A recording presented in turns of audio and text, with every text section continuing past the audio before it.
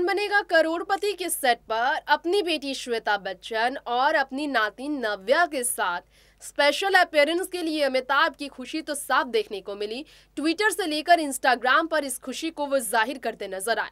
आज दोस्तों big B special इस प्रोग्राम में हम आपको बताने जा रहे हैं एक ऐसा राज जो कि अमिताभ की उसी बेटी को लेकर है। बेटी है तो समाज है, बेटी है तो सारा जहाँ है, बेटी है तो खुशियाँ है, बेटी है तो कल्चर है। ये बात कहने वाले अमिताभ बच्चन भी जानते हैं कि आज उनकी बेटी श्वेता भले ही सेल्फ डिपेंडेंट होने के साथ साथ अपने पिता के लिए सबसे बड़ी ताकत बनी हुई है, क्योंकि जलसा छोड़कर वो नहीं गई। शादी के बावजूद उन्होंने अपने पेरेंट्स के सपोर्ट सिस्टम बनने का फैसला हमेशा लिया। एम स्टोर को संभालने वाली श्वेता शादी के बावजूद पिछले कई सालों से गुरुग्राम यानी कि अपने ससुराल में, दिल्ली में नहीं बल्कि मुंबई में ही अपने मायके में रहती हैं। बेटी नव्या और बेटी अगस्त्या के साथ। श्वेता के सपोर्ट सिस्टम बनने के पीछे कारण ये भी है कि अमिताभ जया ने अपनी बेटी के हर फैसले में उनका सपोर्ट किया है। लेकिन इसके अलावा आपको पता है क्या? जिस श्वेता को कभी एक्टिंग में दिलचस्पी नहीं रहा, उसने जब मॉडलिंग की दुनिया में शुरुआत की अपनी करियर की जर्नलिस्ट बनने से लेकर मॉडलर और फिर फ़ैशन डिज़ाइनर बनने तक के सफ़र में उन्होंने हमेशा फैमिली का सपोर्ट पाया।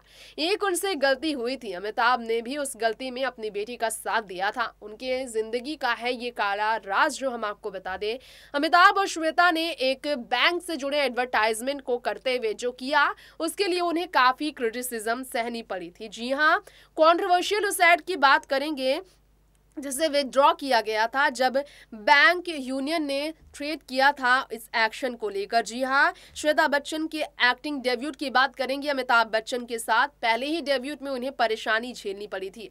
अमिताभ अपनी बेटी श्वेता के साथ एडवर्टाइजमेंट में जो है नज़र आए थे। एक बैंक को लेकर क्रिटिसाइज करते हुए, दरअसल कल्याण ज्वेलर्स के एड के लिए ये साथ नज़र आए थे और उस वक्त उनके एक्शंस को लेकर नेगेटिव लाइट सामने आ गई थी। जी हाँ श्वेता को भी क्रिटिसाइज किया गया था अमिताभ बच्चन के साथ उस एड में, क्योंकि देखा गया था बैंक यूनियन को जो है क्रिटिसाइज करते नज़र आए थे उस एड में श्वेता और अमिताभ, जिसके बाद द टीवीसी जो है श्वेता के स्क्रीन डेब्यूट के बाद काफ़ी ज़्यादा परेशानी में रहे। जी हाँ jewellery executive director Ramesh Kalyan Narayanam ने कहा था we sincerely regret the in adamant hurt, caused and withdraw the advertisement from all media and immediate effect. जी हाँ इसलिए श्वेता और अमिताभ के साथ वाले एडवर्टाइजमेंट को जो है हटा दिया गया था हर जगह से अमिताभ की बेटी श्वेता के डेब्यूटेंट उस एडवर्टाइजमेंट को हटा दिया गया था। फैसला ये लिया गया था क्योंकि बैंक कम्युनिटी ने फैसला लिया था कि वो इस एड को नहीं चलने देंगे क्योंकि बैंक की इमेज को ख़राब करने की कोशिश की गई थी। सेंटिमेंट्स को हट किया गया, ये बताया गया था, जिसकी वजह से इस फिक्शन और नट रिफ्लेक्शन के बारे में बैंक एम्प्लॉय के बारे में जो क्रिटिसिज्म थी, उससे नाराज़गी ज़ाहिर होने पर श्वेता को भी इससे काफ़ी ज़्यादा क्रिटिसिज्म झेलनी पड़ी थी कहा गया था उस स्टेटमेंट में डायरेक्टर की तरफ़ से along with crores of Indians we acknowledge the valuable contribution of the banking community to our country. We state that the creative advertisement was a work of fiction and not a reflexive, reflection of banking employees at large. ये कहा था, any such hurtful interpretation being drawn is unintended माफ़ी मांगनी पड़ी थी। पूरे team को, अमिताभ और श्वेता को भी।